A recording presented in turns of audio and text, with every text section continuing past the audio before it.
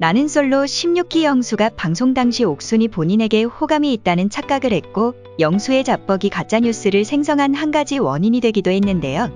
방송이 나가자 영수는 억울하다는 스토리를 올린 적이 있었습니다.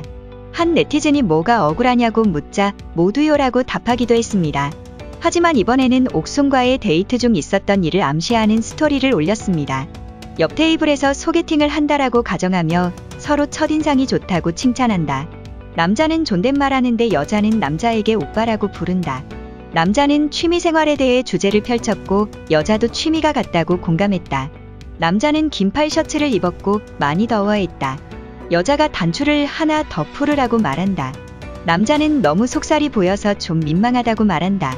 그러자 여자는 나만 보는데 뭐 어때라고 말한다. 지금 이 분위기는 이라며 누가 누구를 마음에 들어 하는지 묻는 질문을 올리기도 했는데요.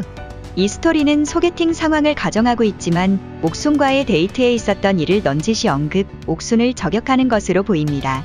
본인이 보기에는 옥순이 자신에게 관심이 있는 것 같아 보였고 본인은 자뻑이 아니라고 억울해하는 것 같은데요. 그리고 17%만이 여자가 남자를 마음에 들어 한다라는 결과가 나오기도 했습니다.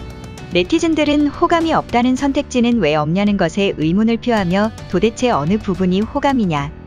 오히려 호감이 없을 때 저렇게 이야기한다. 남자가 자뻑이 심하다라는 반응을 보이기도 했습니다. 과거 영수의 친구는 너 방송에 실물처럼 안 나온다. 정장 입고 나갔으면 다 뒤졌을 텐데라며 영수를 응원하기도 했습니다.